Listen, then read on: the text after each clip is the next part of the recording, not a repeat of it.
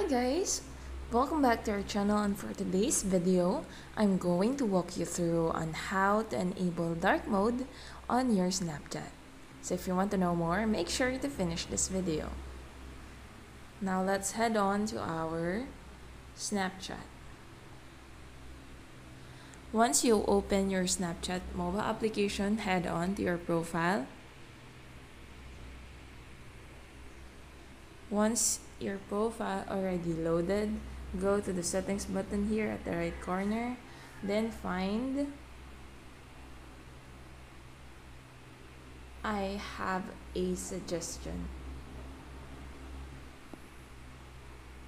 So here you need to choose Snapchat Plus then you could be routed into this page. So what you're gonna do is that you need to write Hi team. I am on my Android phone now. Android device now and I cannot access dark mode using my Poco X4 Pro 5G. I badly need it. Please allow this feature on my mobile. Hoping for your prompt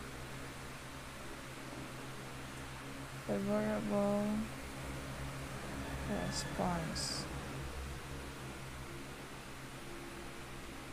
Thank you so much.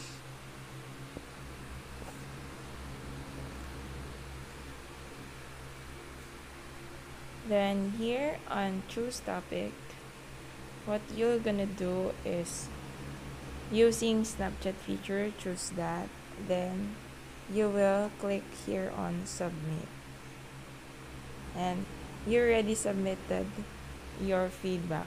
So here I'll also gonna show you how you can check these steps on how to enable the dark mode on your mobile phone. So here on settings, go to I need help. Alright, so once it loads, you need to type dark mode. Then click on the first one.